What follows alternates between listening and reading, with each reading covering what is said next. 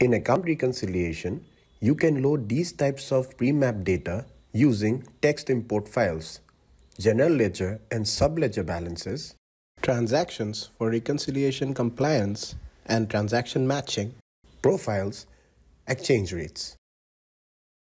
You can import pre-map balances from reconciliations or work lists for users, periods card under application for administrators. For a particular period, administrators can import balances for all reconciliations. Power users can import balances for reconciliations as part of security filter. Users can import balances for reconciliations for which they have been assigned the preparer role. Let's explore how to load pre-map balances into account reconciliation through a file.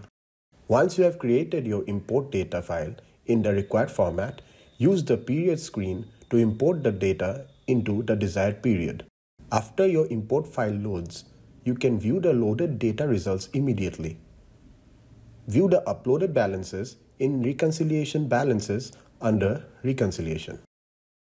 Remember that loading balances into reconciliation compliance replaces rather than adds. It will replace previously loaded balances via import pre-map balances for the same period, currency, and currency bucket. Balances loaded using data exchange or added manually will not be replaced. Similarly, you can load pre-map transactions into reconciliation compliance through a file. To load transactions into transaction matching, navigate to Jobs and select Import Transactions under Transaction Matching. You can check the loaded result once the job finishes running. Remember that loading transactions into transaction matching is different from loading reconciliation compliance transactions because transaction matching transactions are always added to what has been previously loaded. You can load profiles using the import option in profiles. Select replace to add a new profile. Select update to make edits to an existing profile. You can update multiple records by exporting them, making changes in the exported file, and then importing them back in.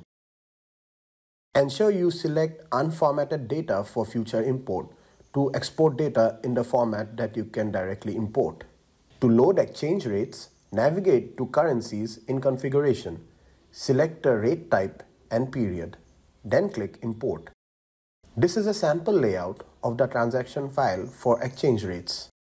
EPM Automate is a command line utility that enables you to automate certain tasks using the user interface for EPM business processes.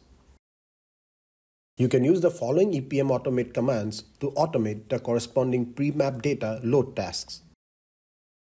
If you have good technical expertise, you may prefer to use REST APIs to load data. Watch part 2 in the series to learn how to load data using data integration. To learn more, visit docs.oracle.com.